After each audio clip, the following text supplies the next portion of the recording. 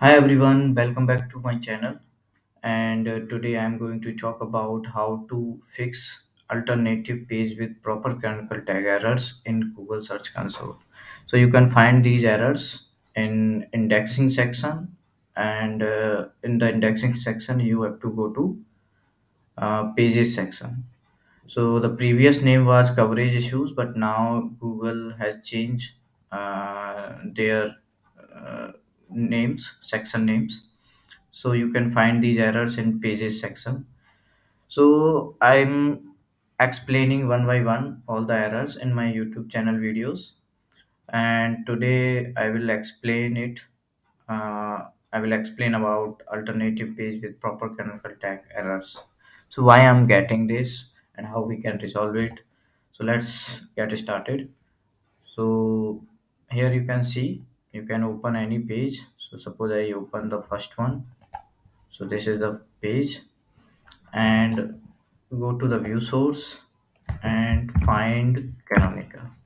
You can find that i have different canonical tag rather than the uh, url we have uh, in the browser. And so we intentionally added maybe. If you think that this is not intentionally you you should fix this issue. Okay. So more details you can go to the inspect url and it will give you the detail little bit more details. So this is the url and alternate page is this. So we mention in this url that this is our main page and when we use canonical when we use canonical if we have similar content and it's no guarantee that google will pick or respect your canonical. It will check that uh, content is similar or not. So if google find it is similar content then he will mention that yeah this is the alternate page. So we mention here this page and i can see that the uh, the content is quite similar. You can see so the both page has similar pages. So we intentionally added a canonical that this is the page of i mean version of this page.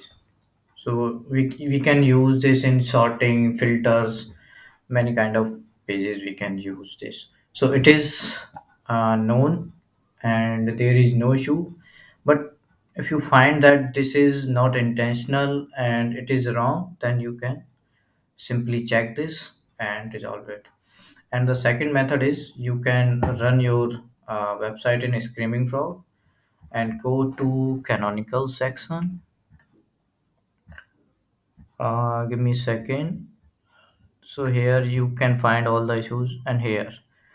So self-referencing by default we keep but you can see that if we have a different canonical tag missing canonical tag multiple canonical tags so all the canonical related issues you can find here.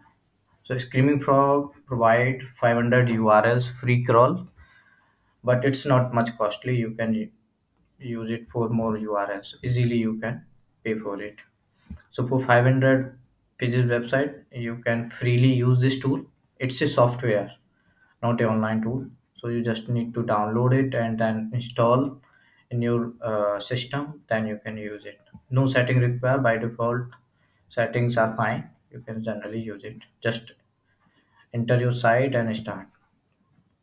So this is the way you can find all the canonical issues. And if you and second thing if you have canonical so many canonicals in your site i suppose in my site that 548 so 548 pages if you have in this section that means this is something wrong. Because these are not the filters these are simple pages. So what we can do here we can add a 301 redirection and reduce these pages. You don't need to have uh, so many uh, duplicate or similar pages around your website and internal links.